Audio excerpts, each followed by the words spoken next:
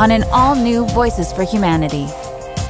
Across the world, barriers are growing.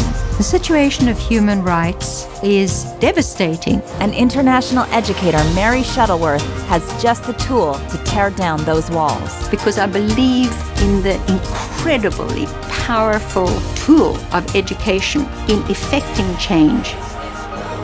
All new Voices for Humanity, Wednesday at 8.